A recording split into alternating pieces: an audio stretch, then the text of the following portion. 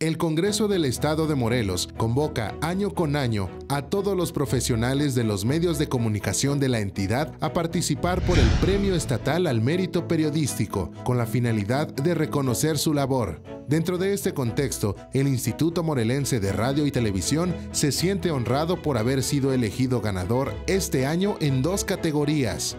Periodismo digital, con el trabajo titulado Los Sayones, una serie de piezas de comunicación que atraviesan la metodología de la correlación de medios y que se albergan en el entorno digital del Instituto Morelense de Radio y Televisión. Un trabajo que documenta en las nuevas plataformas esta peculiar tradición multicolor de más de 300 años en Tetela del Volcán.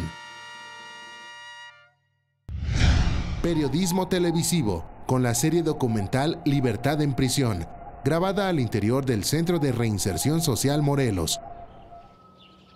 Producción que narra la manera como los internos consiguen reformar su vida, controlando el estrés y las adicciones gracias a la práctica de la disciplina del yoga.